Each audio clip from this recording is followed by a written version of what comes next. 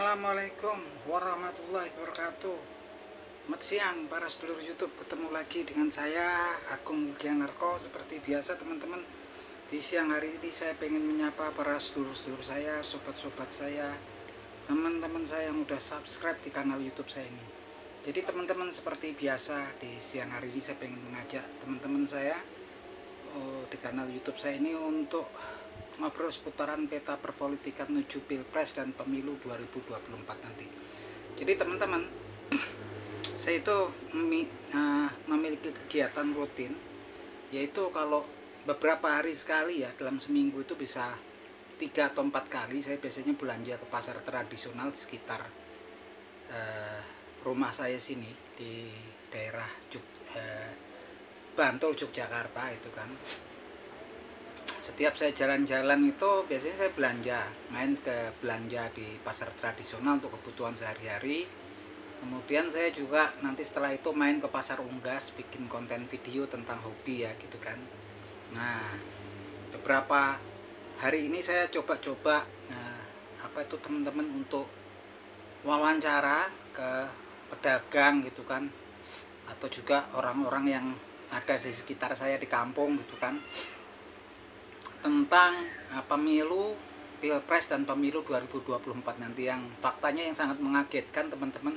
Ternyata di kampung-kampung itu di pelosok di kampung-kampung sekarang tuh sepertinya banyak yang belum mengerti kalau 2024 nanti ada pemilu. Bahkan saya sebutkan calon-calonnya itu orang kampung ada juga yang belum mengenal gitu kan. Jadi kalau kemarin sering diadakan uh, survei oleh lembaga-lembaga survei mungkin uh, kalau yang di pelosok di kampung-kampung kayaknya mungkin kalau menurut saya enggak.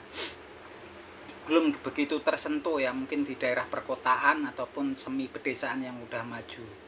Nah kenyataannya faktanya ketika saya kemarin muter-muter gitu kan nanya-nanya gitu mungkin karena memang kalau masyarakat sekarang ini kan kesibukannya e, untuk pemenuhan kebutuhan hidup sehari-hari ya memang udah full itu yang kerja dari pagi sampai sore yang buruh yang dagang segala macam sehingga mungkin banyak juga dari mereka juga yang nggak bisa mengakses uh, internet gitu kan media sosial gitu di kampung karena memang udah manusia sekarang kan memang dari pagi sampai sore sibuk.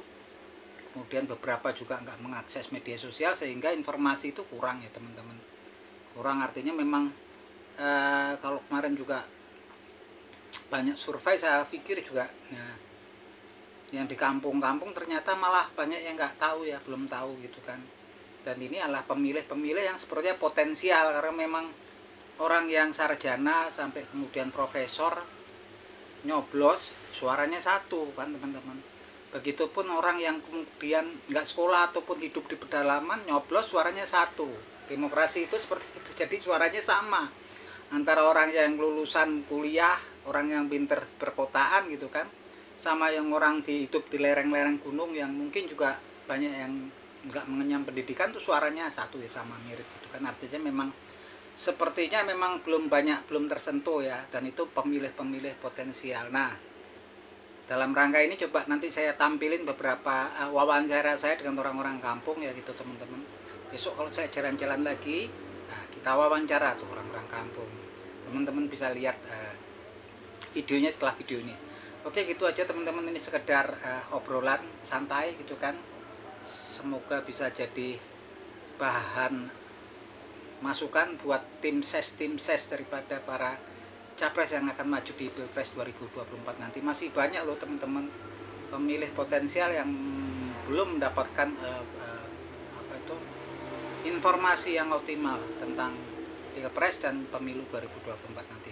Oke gitu aja teman-teman. Bismillahirrahmanirrahim itu aja teman-teman lanjut di video uh, saya wawancaranya ya oke gitu teman-teman jangan lupa subscribe sama press bell channel saya untuk kita kumpul-kumpul oke gitu teman-teman matur nuwun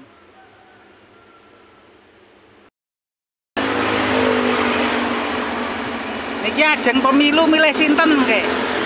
Tapi sapa aku ora ngerti ya. Oh, mboten ngertos? Durung. Durung diomongi. Durung diomongi. Rak calone ngerti dereng sampean. Ngerti aku. Calone Ganjar Pranowo, Prabowo, kalih Anis. Daleme Ganjar Pranowo anu Semarang, Gubernur Semarang. Nek Prabowo ngertos. Ngomongane ya ngerti ya. Dereng ngertos ya. Oh, berarti oke sing durung ngerti iki. Tapi nek ajeng pemilu Aku menganut anut. Sing sapa bari basane jenengan akon aku. Iki sesuk mak. Ya, oh ngoten. Tapi nek sesuk pemilu 2024 pun ngertos. Dereng ngertos ya. Oh, berarti wong ning desa ya urung do ngerti oke. dorong terus tahun aku dorong ngono mau ngerti lho. Pantesan wingi tukang klot tangleti ya urung ngerti ya. Kuwi. Agak wong lanang-lanang wis ora ngerti. Eh. Sing wong lanang-lanang wis ora ngerti domene wong itu itu. Sampai sesuk pane pamane sesuk dikon kowe Pak RT-ne sesuk nyoba siki mak oh yo Oh, nggih. Dereng nggih, Ya, iya tapi urung diomongi nggih. rong. Ya ora oleh RT-ne anune. Ya engko ora ngerti calon-calone. Ya yo kuwi. Calone nek wis ngerti penak. Yen sing tugune. Niki pemilu sinten riki rame, Mas Nandar. Dereng ini tasih sepi. Jagone kira sinten sinten? Dereng anu niku. Ganjar napa do. Oh, mboten enten nggih. Ketoke doratek ngurus sih saniki nggih. Ora kaya mbiyen saniki mungkin. Biyen-biyen kan nek kene ya adem ayem ya dik Nggih. nanti ketok iki ora nganu ngono lah. Nek. Terus yang penting noblos noblos. Heeh, jago. Dereng ketara niki. Pak Nandar sinten kinten-kinten. Jar mawon. Riki kok akeh Ganjar nggih. Kula Temanggung ya kuwi dik. Ganjar. Pembaraan kuwi. Pokoke Magelang ya do kuwi. Wong marai kok nek nggonku kan ya nganune kuwi ya dasar penilaian wong nggonku kuwi nek kuwi apik ngono lho ning Jombang wong liya ora ngerti ya dik. Wong kan beda-beda. Kok akeh Ganjar iki kula tekan desa-desa kabeh. Ganjar Pranowo.